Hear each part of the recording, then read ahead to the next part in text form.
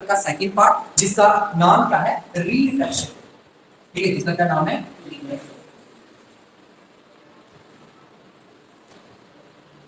सबसे पहले हम लोगों को अगर रिफ्लेक्शन को समझना है तो रिफ्लेक्शन को समझने के लिए हमें आइडिया होना चाहिए इसका मीडियम ठीक है, हमें किसका आइडिया होना चाहिए? मीडियम का, कि मीडियम क्या क्लियर तो याद रखिएगा, कोई भी ट्रांसपेरेंट सब्सटेंसेस कोई भी ट्रांसपेरेंट सब्सटेंसेस जिसमें से लाइट पास हो। कोई भी आप लोगों का ट्रांसपेरेंट सब्सटेंस जिसमें से लाइट इस क्या कर जाए पास कर जाए उसको हम लोग क्या बोलते हैं? मतलब जिसमें लाइट ट्रैवल कर सकती है, उसको हम लोग क्या बोलेंगे मीडियम जैसे आप लोगों को पता है कि अभी जब भी आप लोग जैसे ही क्लास के अंदर एंटर करें, आप लोग सारे बैठे और मैंने क्लास स्टार्ट कर। तो आपने से कुछ बच्चों ने बोला, सर, अंधेरा है लाइट ऑन है ना? तो मैंने क्या किया? लाइट का स्विच ऑन करा। आप लोगों ने देखा कि हमारे जो इस रूम में बल्ब है, वो बल्ब क्या हुए? ग्लो किए। जैसे ये ट्यूबलाइट ग्लो करी, इस ट्यूबलाइट के ग्लो करने के बाद क्या हुई? इस ईयर में से ये लाइट रेस क्या हुई? ट्रैवल करती तो ये जो आपकी लाइट रेस इसमें से ट्रैवल हो रही है? ईयर में से। ये जो ईयर है, ये क्या है आप लोगों का? मीडियम इस ईयर को क्या बोलेंगे? मीडियम कॉन्सेप्ट क्लियर मतलब कोई भी सब्सटेंस जिसमें से लाइट ट्रैवल कर जाती है, उसको हम लोग क्या बोलेंगे? मीडियम क्लियर बात सही में जैसे दूसरी एग्जांपल आप लोग को पता है कि जैसे उस बच्ची ने स्पेक्स डाला हुआ है तो उसमें क्या हो रहा है? उस स्पेक्स के बीच में से जो है, वो क्या हो रही है? लाइट रेस उसकी आँखों तक जा रही है। मतलब उस स्पेक्स में से क्या हो रही है? लाइट जो है, वो क्या कर रही है? ट्रैवल कर रही है। अब जो इसका लेंस है, जो इसके चश्मे का लेंस है, वो लेंस किसका बना हुआ ग्लास का बना। शीशे का बना है ना? शीशा मतलब ग्लास तो ग्लास भी क्या है? मीडियम क्लियर इसी तरह से वाटर वो भी क्या है? मीडियम क्लियर मीडियम क्या हो गया? कोई भी सब्सटेंस जिसमें से लाइट रेस ट्रैवल कर जाए, ऐसे किसी भी सब्सटेंस को हम लोग क्या बोलेंगे मीडियम आई को क्लियर है? किसी को कोई डाउट मीडियम क्या होता है? ठीक है? अगर आपको डेफिनेशन लिखना है तो ये लिखोगे a transparent substance in which light rays travel is known as medium आपको ऑलरेडी पहले का पढ़ाया है, समझाया है, करवाया है, आप लोगों को दोबारा लिखने की नीड नहीं है, आपको नोट्स लिखो बाकी तो चैप्टर हम लोग करते हैं, लिखते हैं, लेकिन इन इन चैप्टर्स को हम लोग डिटेल में कर चुके हैं, मैं सिर्फ़ समझाऊँगा क्योंकि रिवीजन चल रही है इसलिए अदरवाइज़ आप लोगों को पता है कि जो भी टॉपिक हमने कायदे के पढ़े हुए हैं, उसमें आपको हर एक बात जो है आपको लिखवाई क्लियर तो अभी क्योंकि अगर लिखवाने का ऐड किया तो ऑब्वियसली अगर सारे चैप्टर को दो तीन तीन बार लिखवाना तो प्रॉफिटेबल है ही, उसका फ़ायदा नहीं है। अभी मैं इसमें सिर्फ़ आपको समझा दूँ क्लियर है? क्लियर हो गया? मीडियम क्या है? क्लियर अब ये जो आपके मीडियम होते हैं ना, ये आपके दो तरह के मीडियम मीडियम कितने तरह के होते हैं? दो तरह एक जो मीडियम होता है, उसको हम लोग बोलते हैं रियल मीडियम क्या बोलते हैं? और दूसरा मीडियम होता है डेंसर याद रहेगा? ठीक है, आपके जो मीडियम है, वो किस तरह के होंगे? दो टू टाइप्स होंगे। एक जो आपका मीडियम होगा, उसको क्या बोलते हैं? रियल मीडियम और दूसरे मीडियम को बोलते हैं डेंसर क्लियर अब ये जो रियल और डेंसर टर्म होती है ना, ये कंपैरेटिव वाली है। ये क्या होता है कंपैरिजन क्लियर जैसे मैं क्या करता हूँ, इस क्लास में से किसी दो बच्चों को खड़ा करता क्लियर मैं क्या करता हूँ? किसी दो बच्चों को खड़ा करता हूँ। मान लो मैं एक का नाम ए है और एक का नाम बी क्लियर एक की जो हाइट है, वो मान लो फाइव फीट है। एक फाइव फीट ठीक है? और बी की हाइट क्लियर तो अब मुझे चीज़ बताइए इन दोनों में कौन लंबा मेरे को, मैं पूछूँ कि लंबा कौन है? आप बोलोगे बी लंबा है। लेकिन अगर एक और पर्सन है सी और उसकी हाइट सेवन फीट है, ठीक है? अब मैं पहले इसको लंबा बोल रहा था जब इसके साथ कंपेयर कर रहा था ए के साथ। लेकिन अगर सी और बी का कंपेयर किया जाए तो लंबा हो। गया सी क्लियर इसी तरह से आपका रियल और डेंसर मीडियम जो है, ये डिपेंड करता है कि इन दो मीडियम्स की हम लोग बात करें। जैसे मैंने आप लोगों को एग्जांपल से समझाया कि मीडियम क्या हो गया? जैसे मैं ए की जगह पे मीडियम लेता हूँ क्लियर है ना? बी की जगह पे नाम क्या लिख लेते हैं? मीडियम क्या है? ग्लास है। शीशा ठीक है, सिंपल में बोले और सी की जगह मीडियम लेते हैं वाटर क्लियर तो अब इसमें रियल और डेंसर किसके ऊपर डिपेंड करेगा? हम लोग इन दो में किसमें कंपेयर कर क्लियर जैसे अगर मैं बात करूँ तो रियल मीडियम कौन सा मीडियम होता है? ऐसा मीडियम जिस मीडियम के अंदर जो लाइट की स्पीड है। मैंने आप लोगों को बताया था स्टार्टिंग में ही कि लाइट जो है वो क्या कर रही है? ट्रैवल कर रही है।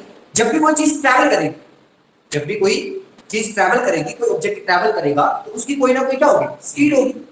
तो ऐसे वाले मीडियम ऐसे वाले मीडियम जिन मीडियम्स में लाइट की जो स्पीड ऐसे मीडियम्स जिन मीडियम्स में लाइट की स्पीड कम होती है, जिन मीडियम्स में लाइट की स्पीड लो होती है, ऐसे मीडियम्स को हम लोग क्या बोलते हैं? ठीक है? सॉरी जिसमें लाइट ज़्यादा होती है ऐसे मीडियम जिनमें जो लाइट की स्पीड है वो क्या होगी? ज़्यादा होगी। ऐसे मीडियम को हम लोग क्या बोलेंगे? रियल मीडियम और ऐसे वाले मीडियम जिनके अंदर लाइट की स्पीड कम होगी उसमें उसको हम लोग क्या बोलेंगे? याद रहेगी बात अगर हम लोग प्रैक्टिकली चेक करें ठीक है? आप लोगों को मैंने बताया था एयर और वैक्यूम इन दोनों में अप्रोक्सीमेटली थोड़ा सा स्लाइटली सा डिफरेंस होता है एयर और वैक्यूम में। अगर हम अप्रोक्सीमेटली बात करें तो जो लाइट की स्पीड होती है वो क्या होती है? बराबर किसी को याद है कितनी होती है?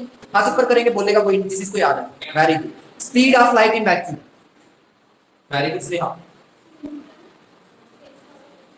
very good क्या है?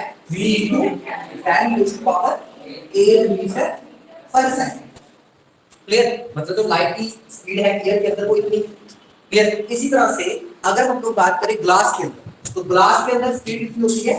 2 into 8 मीटर पर सेकंड क्लियर अगर आप लोग इन दोनों में कंपेयर करो, आप आप लोगों को बताओ कि इसमें कौन सा मीडियम क्लियर है कौन सा आपका डेंसर है? समझ में आ गई बात? ये कंसेप्ट क्लियर होगा रियल और डेंसर क्लियर ऐसे मीडियम जिनमें लाइट की स्पीड ज़्यादा हो, ऐसे मीडियम्स को हम लोग कौन बोलेंगे? रियल क्लियर और ऐसे मीडियम जिनमें लाइट की स्पीड क्या हो, कम हो, उसको हम लोग क्या बोलते हैं? मुश्किलें याद रख पाना। हाँ? बेटा मुश्किलें याद रख पाना। तो आप लोग इसका डेफिनेशन भी कोई साइंस के अंदर कोई आपको कुछ ज़्यादा नहीं लिखा होता यही लिखोगे। A medium in which speed of light is very fast या very high is known as optical optical rarer medium और ऑप्टिकल डेंसर मीडियम कौन से बन जाएँगे? ऐसे मीडियम जिनके अंदर स्पीड ऑफ़ लाइट क्या है दो। कोई मुश्किल? क्लियरिटी मिल गई सबको? ठीक है। अब जब आपने ये दो बातें समझ ली कि मीडियम क्या है रियल मीडियम क्या होते हैं मीडियम क्या होते हैं ये बात समझ आ गई? इसी तरह से आप लोगों का आगे हम लोग पढ़ेंगे अब हम लोग समझते हैं जो आपका मेन टॉपिक है कि रिफ्रैक्शन होता है। हम लोग क्या समझेंगे? रिफ्रैक्शन क्या होता है ठीक है? मान के चलिए कि हमारे पास क्या था मैंने क्या किया? एक ग्लास लगा। दिया एक ग्लास इस जगह पे लगा दिया, मान लो। एक क्यूबाइड शेप का ग्लास ले लिया, इस तरह का वो इधर रख दिया टेबल क्लियर मैंने क्या किया? एक लेजर लाइट ली, एक सोर्स ऑफ़ लाइट लिया, जिसमें से एक रे निकलती है लाइट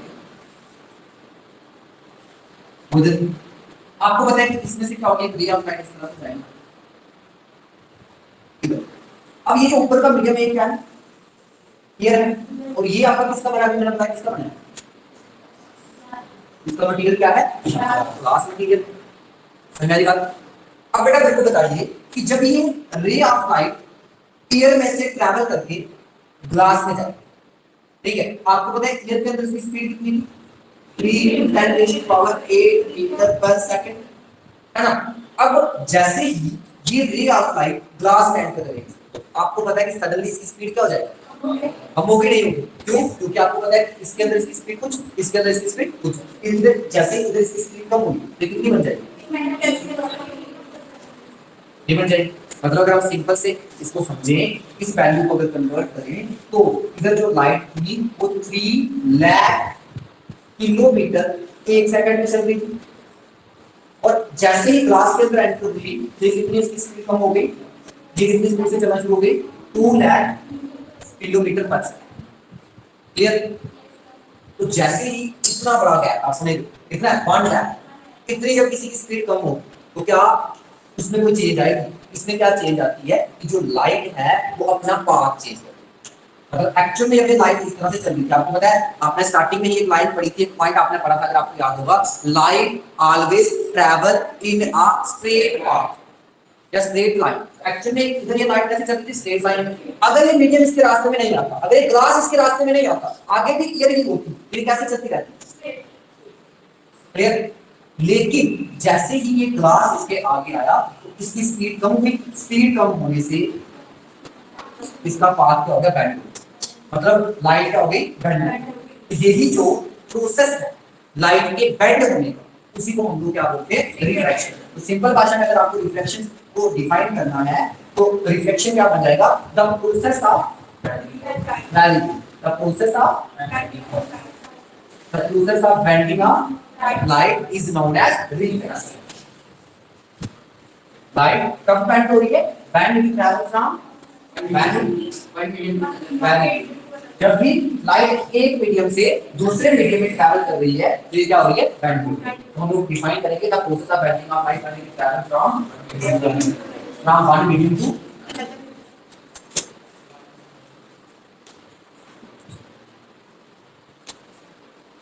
I hope clear है?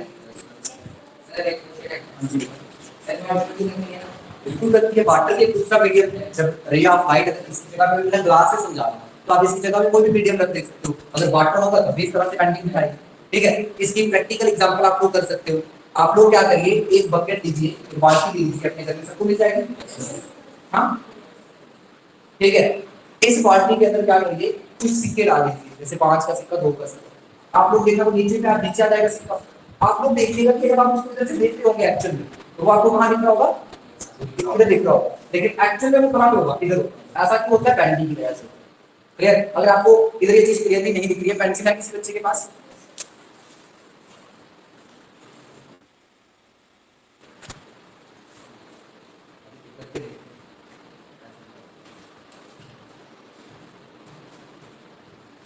आप दोनों, आप इसको बिल्कुल ध्यान से देखिएगा, इस बॉटल को। आपको जहाँ से पानी उसके नीचे का और उसके ऊपर का पेंसिल देखिए। फ़र्क नज़र आ रहा है? बैंडिंग नज़र आ रही है। ये बैंडिंग क्या एक्चुअल में आपकी पेंसिल अंदर बैंड हुई है इस तरह से? निकाल के दिखाऊँगा बैंड हुई है या नहीं हुई है। ये क्या है एक्चुअल ये रिफ्लेक्शन मतलब क्या हुआ कि एक्चुअली ये आपको पेंसिल दिखती कैसे? आपको पता है कि इसके ऊपर लाइट पड़ गई तो इसकी लाइट बंद कर दी। तो क्या आपको कुछ दिखेगा? आपको ये दिख कैसे रही है? इसके ऊपर से लाइट रेस रिफ्लेक्ट होकर आपकी आँखों में जा रही है। तो मतलब जब इसके में से लाइट रेस पास होगी तो ये क्या हो रही है? बैंड हो रही है। दिख रहा है बैंडिंग फिनोमेना यस सर समझ में आ बैंडिंग क्या है? कोई डाउट किसी को? भाई पानी सारा खराब कर दिया आपने। अगर ट्यूब का क्या रैंडम पेंसिल में आपका। समझ में आ गया रिफ्लेक्शन कोई डाउट देखिए साइंस को है ना मैं आपको पहले एक बात बता बता चुका हूँ ऑलरेडी साइंस में आपका एक भी वर्ड ऐसा नहीं है जो आपका डेली लाइफ के साथ रिलेट नहीं है। साइंस के अंदर आपको सब कुछ वो चीज़ें पढ़नी है जो आप लोग डेली अपनी लाइफ में देखते हो, ठीक है? आपके आसपास जो भी चीज़ें हो रही है, सिर्फ़ आपको उन चीज़ों के बारे में सोचो। क्या सोचना मुश्किल है? तो क्या इसके रिलेटेड आपको कोई भी क्वेश्चन एग्ज़ाम में पूछा जाए तो लिखना मुश्किल है? हाँ? अगर मुश्किल है तो बताइए। आई होप कि रिफ्लेक्शन होता क्या है, ये पॉइंट आप सबको क्लियर होगा अगर आप में से किसी बच्चे को कोई डाउट है तो आप मुझे बता सकते हो रिफ्लेक्शन अब इसी को अगर आगे देखें, इसी कंसेप्ट को अगर आगे समझे, आगे से समझिएगा देखिए ये लाइट इधर से आई। एक्चुअल में इसको ऐसे पास करना। ठीक है? लेकिन ऐसे पास ना करके बैंड हो गई। इस तरह से मैंने आपको बता दिया बैंडिंग क्यों करी? ठीक है? इस बैंडिंग को क्या बोलते हैं? रिफ्लेक्शन बोलते हैं। याद रहेगा। ठीक है? अब आगे समझिए। अब देखो, दोबारा क्या हो रहा है? हमने क्या पढ़ी? रिफ्लेक्शन क्या पढ़ा? रिफ्लेक्शन होता क्या हमने क्या पढ़ा?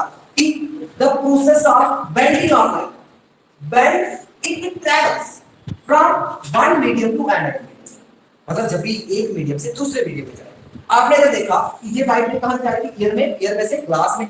अब इधर क्या होगा? ये जो ग्लास का पीस है, खत्म हो जाएगा थोड़ी देर के बाद। नहीं ईयर में क्या रखा है? ग्लास का क्यूबाइड शेप का पीस रखा है। इधर क्या हो जाएगा? ग्लास आपका खत्म हो गया। अब क्या होगा? ये लाइट इधर क्या चल रही है? ग्लास के बीच में। अब इधर से क्या होगा? ग्लास में से कहाँ जा रहा है? कहाँ पे जा रहा है? ईयर में जा रहा है। तो इधर भी क्या होगा? एक मीडियम से दूसरे मीडियम में। इधर से भी एक्चुअली अगर इसको देखो तो ऐसे जाना चाहिए था। इधर से बाइंड हो गई कॉन्सेप्ट क्लियर क्लियर है सबको इधर भी क्या होगी? रिफ्लेक्शन होगी? इधर भी क्या होगा? रिफ्लेक्शन ये जो बेंडिंग ऑफ़ लाइट है, इसी को हम लोग क्या बोलते हैं? क्या बोलते हैं? रिफ्लेक्शन अब देखिए, आगे हम लोगों को रे डायग्राम जो है, वो ड्रा करनी है। इसी की जो प्रैक्टिकली जब देखा गया तो हमारे पास दो बातें हमें समझ में आई। पहली बात आपको याद रखनी है, उसका आप रूल लेके चल सकते हो। ठीक है? ये बात आपको सबको याद रहनी चाहिए कि जब भी लाइट रे जब भी light rays rarer medium denser medium में ट्रैवल करती है तो वो बेंड करती है नॉर्मल की तरफ़। क्या बोला मैंने? अगर मैं क्या कर दूँ ये जो पॉइंट है, इस पॉइंट को क्या बोलेंगे? पॉइंट ऑफ़ इंसिडेंस है ना? अगर इस पॉइंट के ऊपर नॉर्मल मान नॉर्मल मींस 90 डिग्री एंगल किस तरह से बनेगा? तो मतलब जब भी लाइट इस तरह से ट्रैवल करेगी रियल मीडियम से डेंसर मीडियम ये बैंड हुई, लेकिन बैंड किसकी तरफ़ हुई? नॉर्मल क्लियर है नॉर्मल की तरफ़। ठीक है, और इसी तरह से इस पॉइंट पे देखो तो नॉर्मल क्या होगा? इस तरह का ठीक है तो जब भी अब जब भी क्या होगा?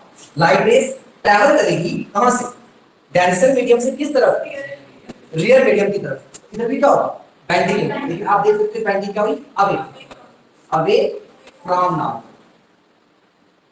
हुई ऐसा हुआ? और इधर क्या हुआ? टू वर्ड्स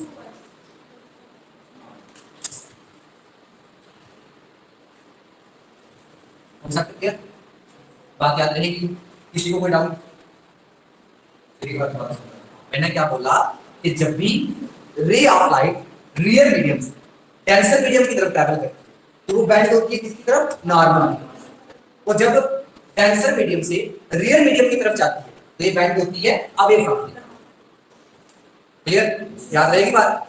मुश्किल याद रख पाना क्लियर है? अब ये मोटी सी बात अपने माइंड में सेट कर तो आगे बड़ी काम देंगे, दो पॉइंट ठीक है? अगर ये दो पॉइंट इसके माइंड में सेट हो गए, रे डायग्राम बनाना आपके लिए बड़ा आसान बन क्लियर ये अगर कंसेप्ट समझ आ गया आपको तो देखो मैंने क्या बोला आप लोगों को कि जब भी ray of light rarer medium से रियल मीडियम जैसे हवा है, हवा के कंपैरिजन में ग्लास क्या है? रियल ग्लास क्या है? डेंसर है।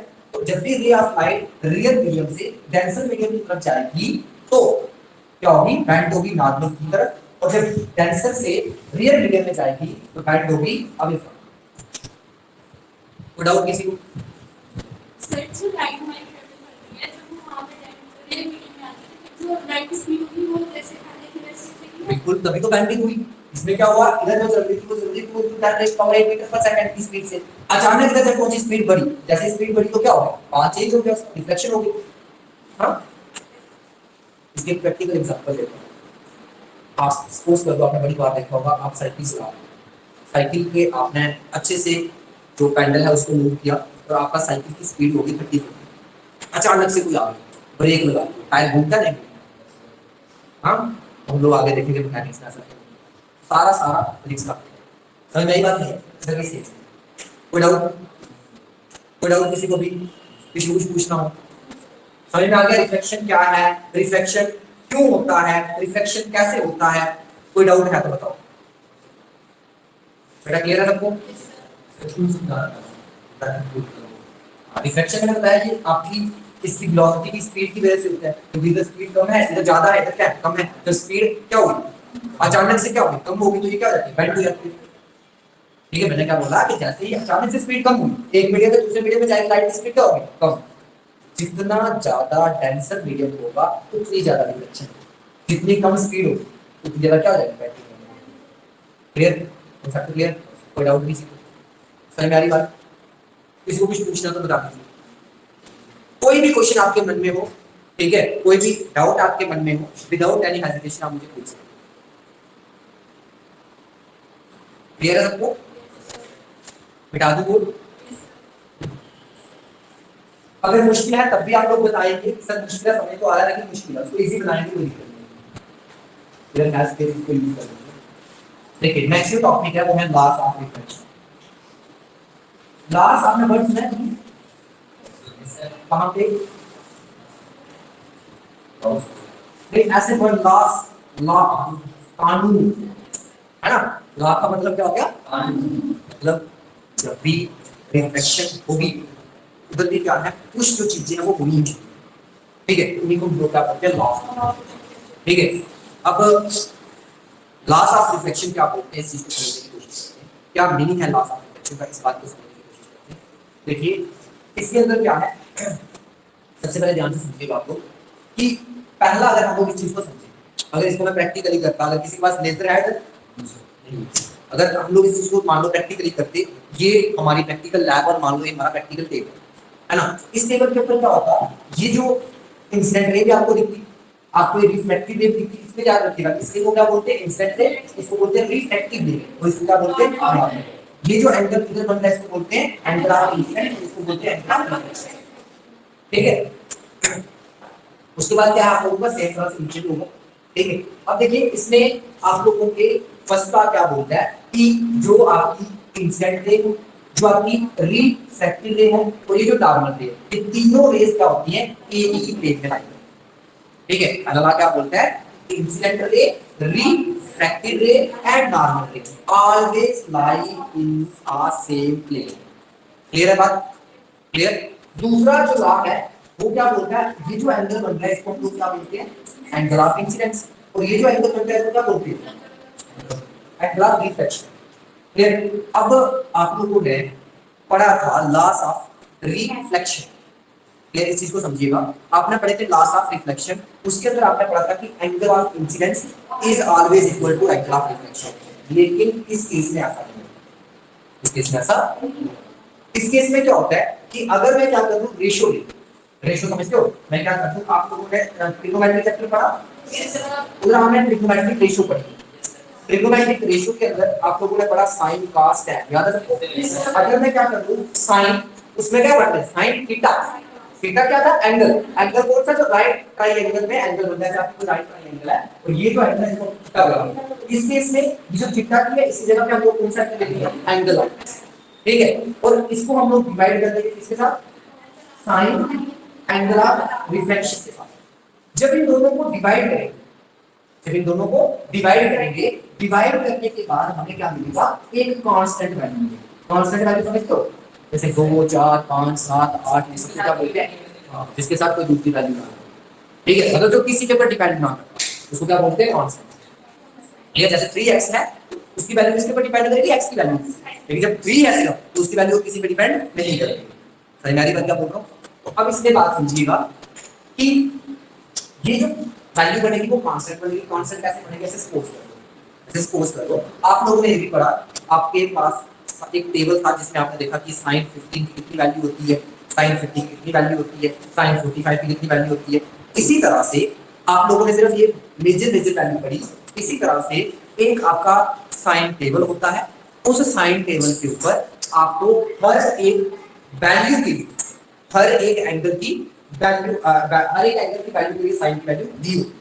इसी तरह से जब भी जगह पे रिफ्लेक्शन हो रही है, अगर हम लोग एंगल आई देखें और एंगल आर देखें, उनका क्या है? साइन है। उन दोनों को क्या करें? डिवाइड करें। डिवाइड करने के बाद आपके पास क्या आएगा? एक कांस्टेंट और ये जो कांस्टेंट वैल्यू आती है, इसी कांस्टेंट वैल्यू को हम लोग क्या बोलते हैं? रिफ्रैक्टिव इंडेक्स इंडेक्स समझेंगे इंडेक्स का क्या मतलब है, ये आपको समझाऊँगा फिर अभी याद रखिए ये सेकंड का क्या बोलता है? The ratio of sin of angular incidence to the sin of angular reflection is a constant.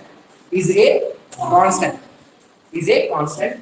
ठीक है? And that constant is known as refractive index of that ठीक है? अब देखिए, इसको इसने दिया, ये लॉ इसने नया स्नेल्स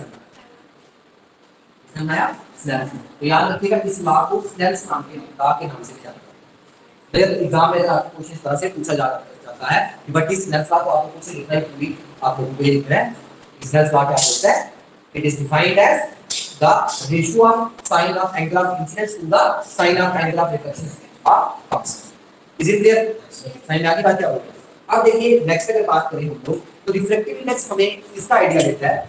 हमें आइडिया देता है कि ये जो बेंडिंग हो रही है, जो रिफ्लेक्शन हो रही है, ये आप लोगों की कितनी होगी लाइट जो बेंड हो रही है, ये लाइट कितना बेंड हो इसका जो हमें आइडिया देता है, वो हमें बोल देता है आप लोगों का रिफ्लेक्टिव ठीक है, अब हम लोग क्या कर लेते हैं? एब्सोल्यूट रिफ्लेक्टिव इंडेक्स अभी आप लोग इसको बोलते हैं यहाँ सिंपल रिफ्लेक्टिव इंडेक्स बोलते हैं। इसका थोड़ा सा आइडिया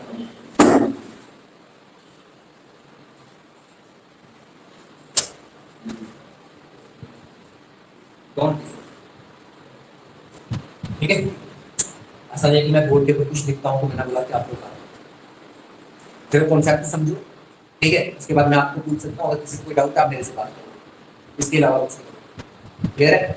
अब देखिए नेक्स्ट जो आपका कंसेप्ट है वो क्या है एब्सोल्यूट रिफ्लेक्टिव इंडेक्स अब समझते हैं कि एब्सोल्यूट रिफ्लेक्टिव इंडेक्स क्या है। ठीक है?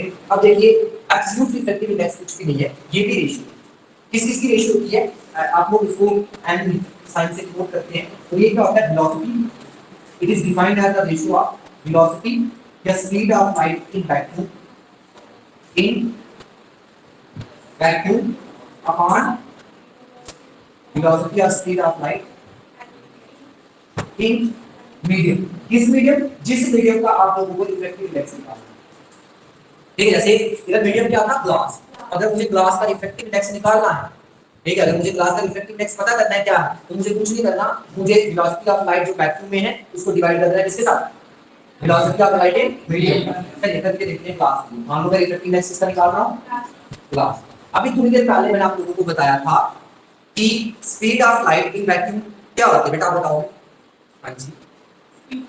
Speed of light in vacuum v v into 10 इसको बोलते हैं 3 into 10 raise to power 8 metre per second is metre और आप अगर इसको या तो ये लिखिए अगर इसका यूनिट चेंज कर, ठीक है, ये क्या बन जाएगा? 3 into 10 raise to power 5 kilometre. क्यों? आप लोगों को पता है, मीटर को किसमें करोगे कन्वर्ट करोगे किलोमीटर। ये क्या बन जाएगा 5 बन जाएगा 3 पावर कम हो जाएगी। तो 1000 metre is equal to 1 kilometre है ना? इसलिए ये क्या बन जाएगा पर सेकंड जैसे ये ऐसा बनेगा। और इसी को, अगर मैं मल्टीप्लाई करूँ, मेरी वैल्यू कितनी ठीक है? किलोमीटर पर सेकंड क्लियर समझ आ रही बात? आगे आगे नीचे करते हैं। अगर मैं इधर मीटर की किसी बात करूँ मैं किसका रिफ्लेक्टिव की जैसी बात ग्लास इधर क्या होगा ग्लास की आप इन ग्लास अभी थोड़ी देर पहले मैंने आपको बताई कि